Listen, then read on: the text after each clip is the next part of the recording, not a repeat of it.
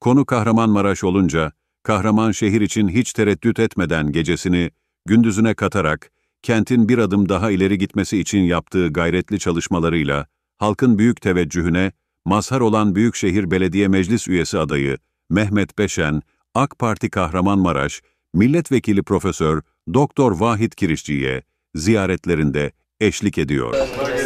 Nasılsınız ablalar, iyisiniz?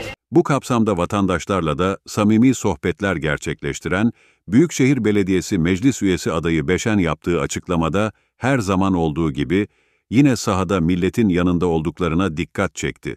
Ayrıca Meclis Üyesi adayı Beşen açıklamasında hep birlikte el ele yeniden ayağa kalkacaklarına dikkat çekti. Evet 31 Mart yerel seçimlerine yaklaşık 22 gün gibi bir zamanımız kaldı. Bugün e, Sayın Bakanımız e, Vahit Kirişçi Bey ile birlikte Ka- Kahramanmaraş'ta bulunan kapalı çarşıdaki esnaflarımızla ziyarette bulunduk.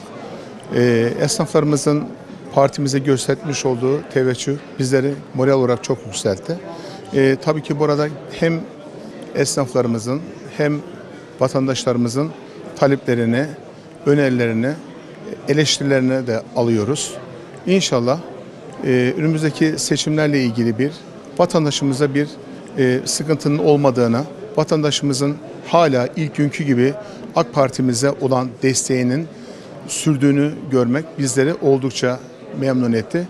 İnşallah e, 31 Mart yerel seçimlerinde yine Kahramanmaraş olarak en yüksek oyla e, seçimin neticelenmesi için bizler elimizden gelen gayret ve çabayı göstermeye çalışıyoruz. Bu vesileyle e, tüm Kahramanmaraş halkımızın Ramazan-ı Şerif'ini tebrik ediyorum.